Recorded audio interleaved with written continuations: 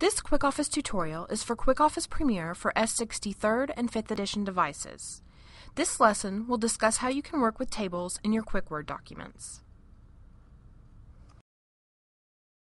When viewing tables in QuickWord, it's not uncommon for part of your table to extend beyond the size of your device's screen. To view the area off of the screen, simply scroll in the direction of the part of the table that is beyond the screen.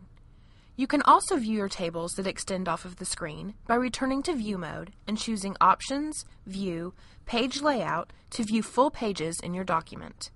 Alternatively, choose Options, View, Zoom and press the down key to zoom out.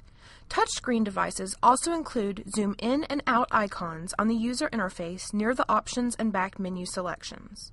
Select Accept when you reach the desired zoom level. If you are in Page Layout and have zoomed in on your document, choose Options, Fit to Screen to zoom back out and view full pages. To insert a table, switch to Edit mode and select Options, Insert Table. Specify the number of rows you want in the Rows field and the columns desired in the Columns field. Then press OK to insert your new table. Tables in QuickWord support insertion of images, text with formatting, bullets, and more. To insert a row below the selected row in your table, choose Options, Edit Table, Insert Rows Below.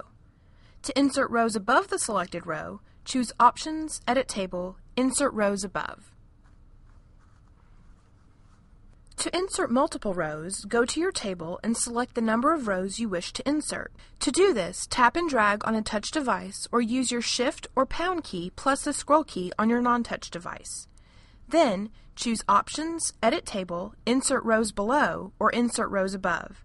QuickWord will insert the number of rows you selected below or above the selected rows. To delete a row or rows, select a cell in the row you wish to delete or highlight the row or rows you wish to delete using tap and drag on a touch device or your Shift or Pound key plus the scroll key on a non-touch device, and then choose Options, Edit Table, Delete Rows.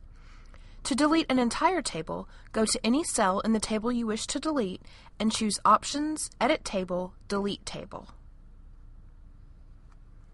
Please view our other tutorials that show you how to perform other operations using QuickWord.